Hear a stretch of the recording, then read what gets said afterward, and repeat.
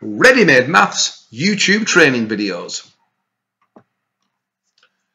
Teaching assistant and teacher training for mental mathematics in Key Stage 1. Today we're going to be looking at Arithmetrick 1 number bonds. Good morning and welcome to the very first Reddy Made Mathematics YouTube video. What we're going to be doing today is we're going to be looking at developing different skills of mental calculation so that when we're working with children all the way from early years to key stage one up into key stage two, we're developing a bank of skills that they've got in their heads that they can use so they don't always have to go to pencil and paper. I know when I was a child I was taught certain ways to calculate and generally when I was given a, a two digit calculation or a three digit calculation initially it was straight onto pencil and paper. That tended to be the only way that I learnt at the time. As I started teaching and started getting into mathematics, I started realising there are so many more ways that we can develop children's mental arithmetrick skills.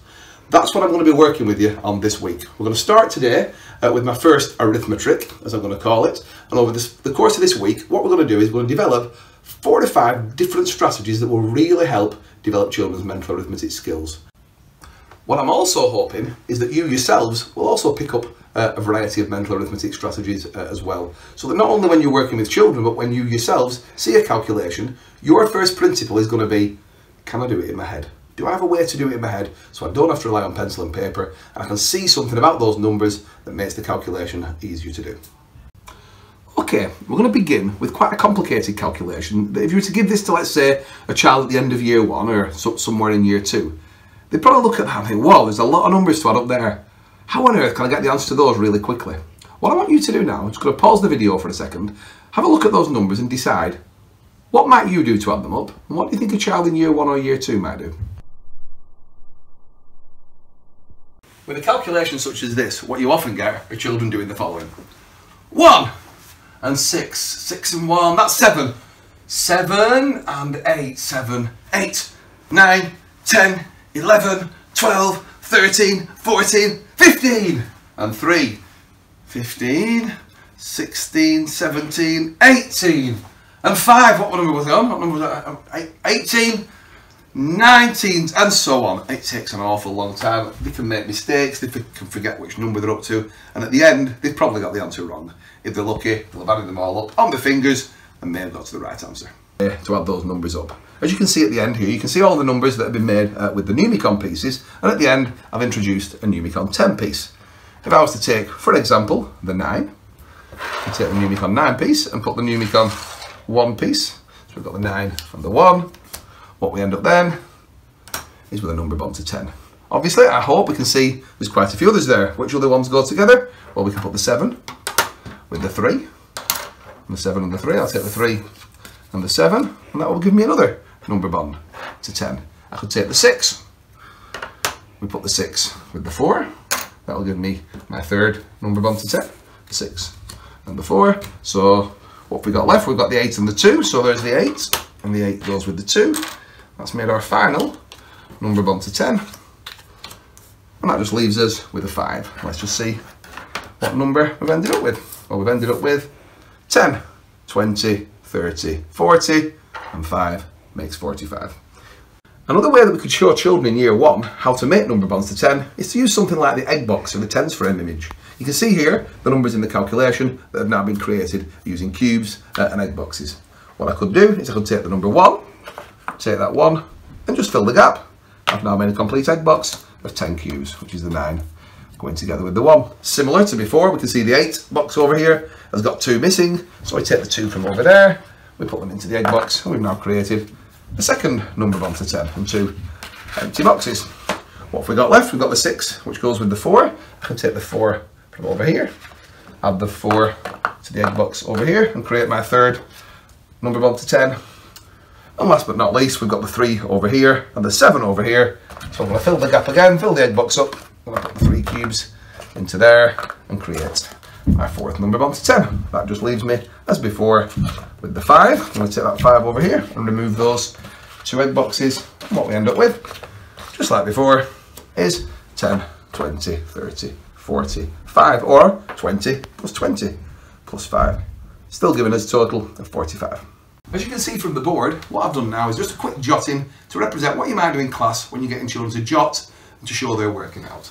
We've put a line from the 1 to the 9, from the 6 to the 4, from the 8 to the 2, from the 7 to the 3, and obviously uh, that just leaves the 5. Again, it doesn't matter what jotting you do, whether you just circle the numbers as you use them, whether you join them together, but if we can just encourage children to, whenever they see a 6, look for a 4. When they see an 8, try and find a 2. When they see a 1, can I see a 9 that goes with it? Because that's going to really help the mental calculation skills, and that's going to develop further, as we're about to see uh, in the rest of this video.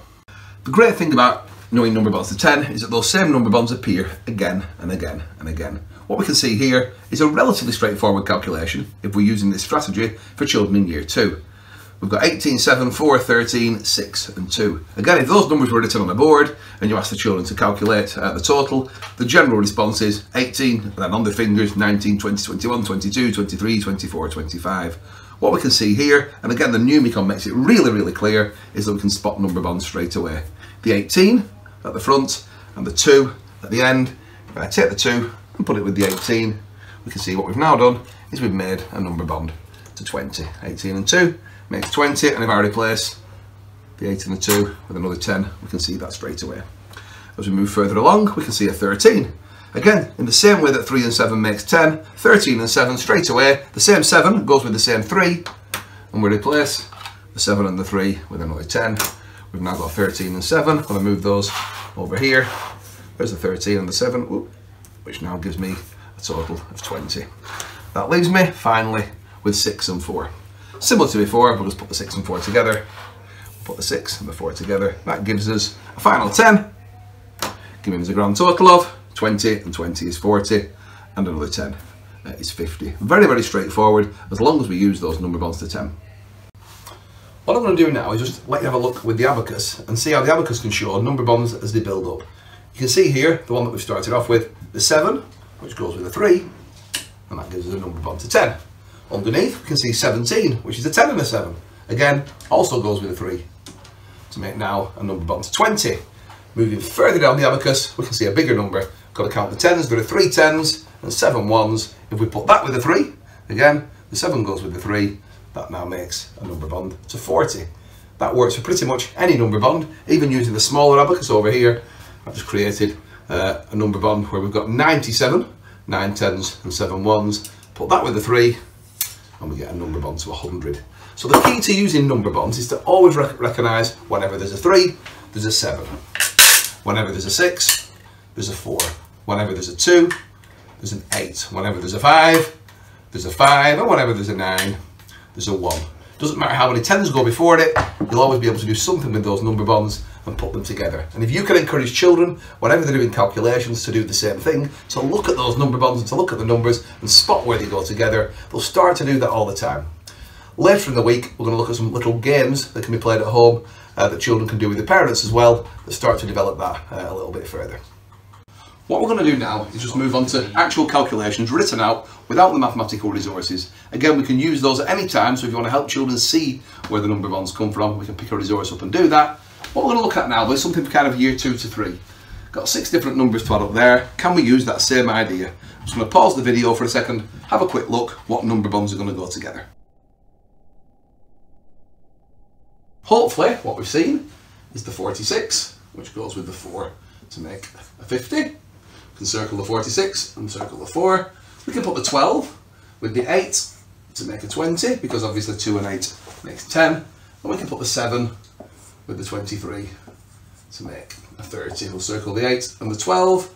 We'll circle the 7 and the 23. We've actually ended up with 50 and 20 is 70 and 30 is 100 or 30 and 20 is 50 and 50 is 100 or 50 and 30 is 80 and 20 is 100. But if we add those three together, ended up with a total of 100. Moving into a real life problem, with all the problems we've been having in the supermarkets recently, with things running out while we've all been stuck at home, and the panic buying, we've nipped to Aldi, and luckily, there's just a few things left. There's some chopped tomatoes, there's some soup, there's some pasta and some bread. Uh, just a little bit left, that's what we've been able to buy. I've come back with a shopping list, want to know how much I've spent, let's have a see how we can use our number bonds to help us. Hopefully you'll see that 6 and 4 again, but this time it's 56 pence and 34 pence. If we put those two together, the 50 and the 30 makes 80, and the other 10 gives me 90 pence. So the tomatoes and the bread together come to 90 pence.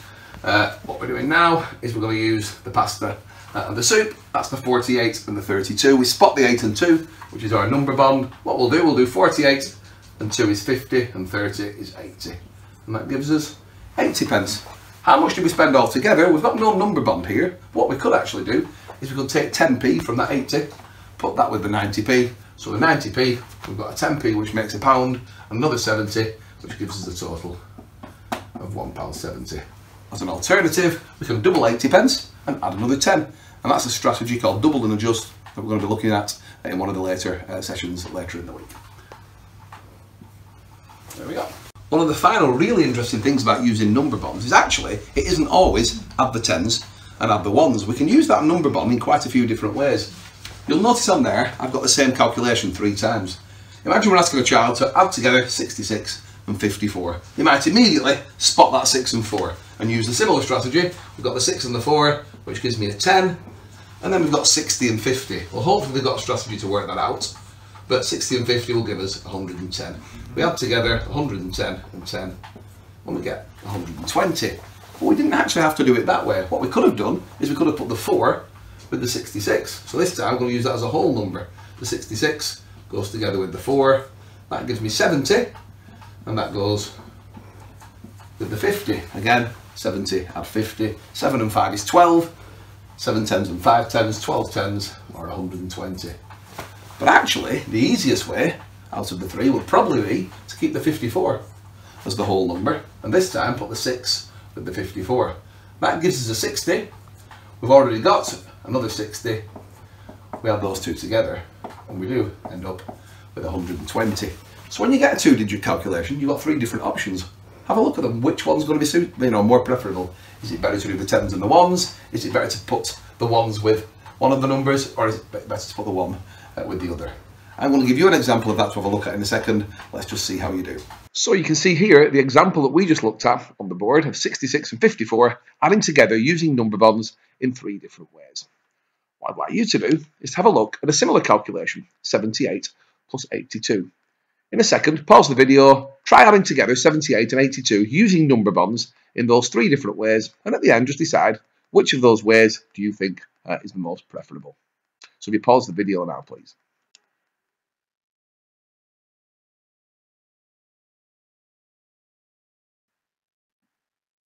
And there we have three different ways. The first one, which is probably the hardest of the three, is to put the 70 and the 80 together. That will give us 150 We could do double 70, add 10 for that. And the 8 and 2 is 10, and again, add those together to make 160. The second option, which I think is my favourite, is to put the 2 from the 82 with the 78, and that gives us double 80. The third option, which again I think is, a relatively straightforward one, if we put the 8 with the 82, that gives us uh, the 90. Add that again to the 70, 90 add 10 add 60, uh, gives us 160. Uh, whichever you prefer, it doesn't really matter. But there's three different ways, and you can choose the one uh, that appeals the most, depending on which calculation you're actually doing. Now, take a look at this calculation. Four numbers as before, but why is this one different? Again, if you take time, pause the video, have a look at the numbers. Where are the number bonds now?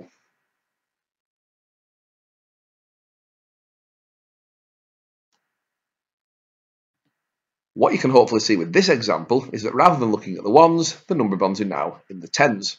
The 70 goes with the 30, that gives us 100. We could add the 60 to the 40 to give us another 100. And then probably the best thing to do is to put the two eights together to make 16. We're now at 216.